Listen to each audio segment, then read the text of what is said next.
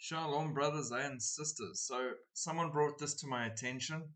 Um, these are the kind of things you should not be watching anyway, but this is what the world is watching and driving towards, and the messages they push through in these things, just mocking God and attacking the truth and setting the world up for this final week, is sometimes just insane, blasphemous, and so over the top.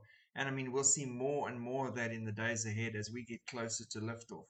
Now, this is a very short clip. It's a piece of the latest trailer they've just dropped for their Deadpool and Wolverine movie that's coming that all the young people and fans are raving about and looking forward to. But watch this little piece that I'm about to play for you. I'm the Messiah. I am Marvel Jesus.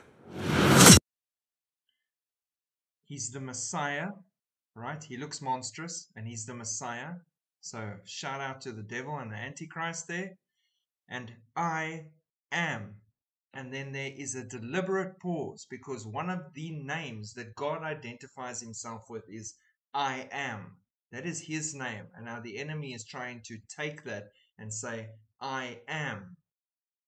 And then they mock Jesus again. Sick and twisted world we're living in. But end times, watch what you watch. It's called a program for a reason.